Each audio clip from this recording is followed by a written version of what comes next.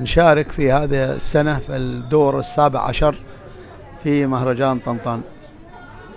آه، القسم الموجود عندنا نحن عندنا القسم البحري الذي يتكلم عن الماضي والحاضر. طبعا الماضي آه، نحن حفاظنا على الماضي لعدم اندثاره. وأما الحاضر آه، الصيد بالطرق الجديدة موجودة في كل العالم. لكن الصيد بالطريقة القديمة تكاد أنها انت- انتهت. تجربة للمغرب. الإخوان آه، آه، الصيادين آه، في المغرب عندهم طرق تختلف عن الطرق ال- الذي معنا ولكن نحن ننقل لهم الصورة وننقل لهم الطريقة ونوصيهم. نعطيهم توصيات لكي تبقى استمرارية في الصيد للأجيال القادمة. لأن جميع ال- ال- المواد التي تستخدم في البحر اليوم تعتبر إذا رميت آه، تركت في البحر تعتبر مواد ضارة. فالجميع يحرص على هذا الشيء وإذا كان عنده مخلفات من الشباك أو مخلفات من الأشياء يحاول أن يجمعها ويوصلها يصل بها إلى البر ويكبها في أماكن المخصصة. نحن نحن المغاربة نحن اخوان أشقاء. آه، ثقافاتنا واحدة تراثنا واحد وعاداتنا وقيمنا واحدة وأخواننا وأعزاء. فنحن كذلك نستفيد منهم وهم كذلك يطلعون على تراثنا يستفيدون نتعلم منهم. حتى هناك مسميات مسمياتنا واحدة. نحن في الإمارات نقول هذه الحركة نيرة وهم كذلك يقولون نيرة. والسدو يعني مثلا هم يقولون نسيج نحن السدو يعني. ففي أشياء كثيرة متقاربة بيننا وبينهم وثقافتنا واحدة ونحن أشقاء وثقافتنا مشتركة يعني. والحمد لله هذا فضل الله تعالى لأن كلنا أخوان وأشقاء. جناح دولة الإمارات في موسم طنطان يقدم مختلف الثقافات الموجودة سواء الثقافة البرية الصحراوية الجبلية الزراعية. نسمع ورانا فن النهمة. طبعا من الفنون اللي كانوا يقدمونها البحارة قبل أثناء سفرهم لمساعدتهم على تحمل المشاق أثناء السفر وأيضا تساعدهم على أداء المهنة بالطريقة السليمة وتحمل مشاقها. هذه هي أشعار تراثية أشعار تراثية متوارثة. كانوا يمارسونها آه، الشواب اللي هم الناس الكبار في السن أثناء رحلات الغوص والسفر. يعني كلها أشعار تراثية. تم توثيق جزء كبير من هذه الأهازيج الموجودة عندنا. فنون النهمة وفن العيالة والتغرود والقهوة. هاي الفنون كلها تم توثيقها. نعم نعم نعم.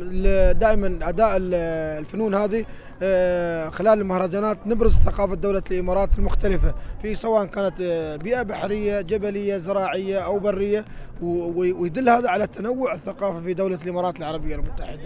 هاد الدورة 17 أولا. بعد مرور 20 سنة من إحياء الموسم ديال طنطان من طرف صاحب الجلالة الله ينصره اللي قرر إحياء هذا الموسم بعدما توقف في السنوات في السبعينات في واحد الظروف خاصة. ف- فتم إحياؤه في 2004 وجات اليونسكو في ذيك الوقت و... ولا آه، سميتو في اللائحة ديال التمثيلية ديال اليونسكو ديال آه، سميتو آه، التراث اللامادي الشفهي في 2005 وبعد ذلك بقى مستمر الموسم إلى 2014 حين تأسست المؤسسة المقار وهذه المؤسسة المقار تأسست باش تحافظ على هذا التراث اللامادي الشفهي الحساني لأنه بدأ كيندثر و- والوليدات اللي بداو تيكبروا ما بقاوش محافظين على هادو لانهم ما بقاوش كيكبروا فيه. فارتأت المؤسسة باش تحافظ على هذا الموروث وبدينا خدامين في ذيك الوقت إلى يومنا هذا. وكل سنة نظمنا موسم وجاو ضيوف زعما عدة بلدان. جاو من السنغال ومن موريتانيا ومن تونس ومن السعودية. وعندنا شريك استراتيجي هو الإمارات العربية المتحدة اللي كتشوفوا حاضرين دائما معنا كيجيو كيحضروا بقوة. وهذا العام اللي اللي كيتميز به غادي يكون واحد الملتقى ثقافي آه، في موضوع آه، الثقافة الحسانيه عمرو ما درناه أول مرة غادي يكون.